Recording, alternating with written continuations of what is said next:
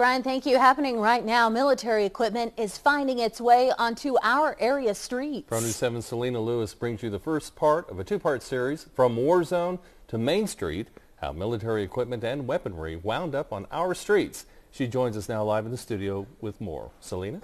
Thanks, Larry. Well, in the first part of our series tonight, we'll take a look at how local law enforcement agencies are allowed to legally get a hold of armored vehicles and assault rifles that can cost up to a million dollars. This is not Iraq or Syria, it's Clovis, New Mexico. Population 39,000. So why did they have an armored vehicle designed to withstand mine blasts and machine gun ambushes? The answer, the federal 1033 program.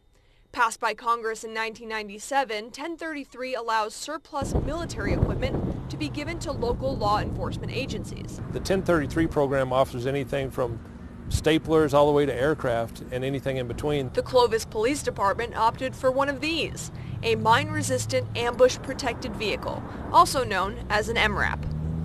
It's kind of like a tornado shelter. People put tornado shelters in the ground hoping they never have to go inside of it if a tornado were to show up. This same concept with this vehicle. We hope we never have to deploy this. However, some feel just because the police can get this equipment, it doesn't mean they should or that they even really need it. I would say city SWAT units could probably use a lot of the equipment that's available.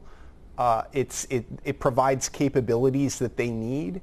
But there are some things like helicopters and armored personnel carriers, the MRAPs and the MATVs, that are just, uh, it's, it's, it's a little bit much. The Clovis SWAT commander admits they haven't had much use for it yet. We've used it one time in the year and a half we've had it almost two years for a violent confrontation. And our officers were safer than they were otherwise. Other than that, it sits right here and holds the concrete down. And even though the national crime rate is the lowest it's been in a generation, according to data released by the FBI, requests for military equipment from the 1033 program are at an all-time high. I cannot think of any great reasons for a local police department uh, that's at the suburban level to have an MATV, a MaxxPro, or an MRAP. I can't think of any, any great reasons. Uh, I think the reason they do is probably that they're cheap and they're available. Some veterans, like Captain Vonenberger, worry that giving local law enforcement access to military-grade equipment is a slippery slope. I think that if the police have access to military-grade weaponry and equipment. They're going to be more encouraged to use that immediately. Especially, he says, after seeing MRAPs being used during the protests this year in Ferguson, Missouri.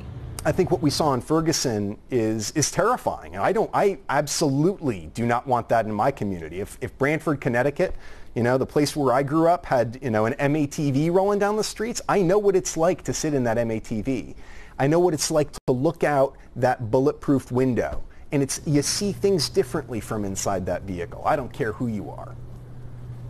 Now, police departments claim this equipment is free to taxpayers, but tomorrow we'll look at how much this equipment actually costs to buy, ship, and maintain on Pro News 7 at 10 tomorrow. Reporting live from the Kennedy Broadcast Center, I'm Selena Lewis, Pro News 7. Selena, thank you. Let's get you up to speed now on the high-profile murder for hire trial of Amarillo plastic surgeon Dr. Michael Dixon. Today, jurors were presented new digital evidence from DPS, including text messages between Dixon and David Shepard, the man who pleaded guilty to murdering Dr. Joseph Sonnier. Now, a trooper testified that Shepard allegedly texted Dixon about staking out Sonnier's home. The day after the July 10th murder, Dixon and Shepard allegedly made dinner plans and talked about celebratory cigars.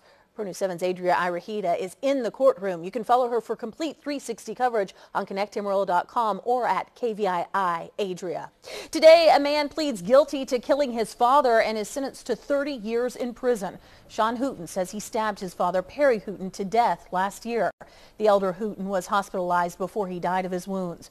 Randall County District Attorney James Farren tells Pro News 7 Hooten must serve at least 15 years in prison before he is eligible for